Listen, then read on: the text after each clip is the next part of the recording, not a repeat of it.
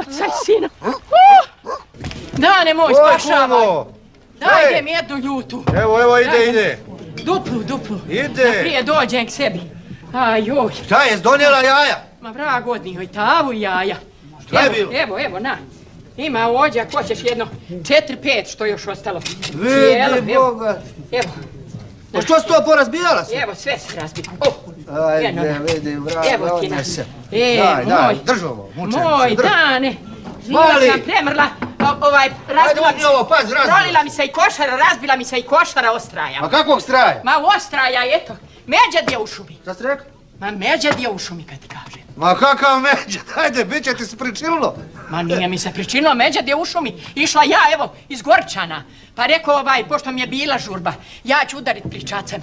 Prije ću doći. Siđem ja s puta. Udarim krošumu. Kad nisam prošla ni stotinjak metara. Kad ja gledam, a ono, nešto u šumi čujem.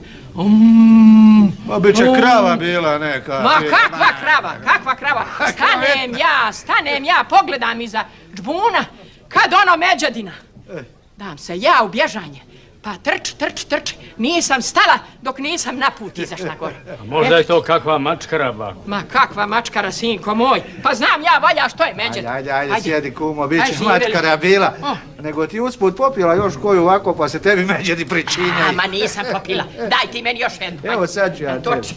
A znaš, more i biti, dogodi se to, dogodi. Ovako, da oni osjete proljeće prije nas, pa onda izađu. A ono ti predlani negdje bilo, baš mi gledamo što je međedi, otkud u ovo doba, kad šta? Lavina, brate. Lavina pala i iščeralo ih sve iz rupa Ako je tako, onda treba obavijestiti lovce.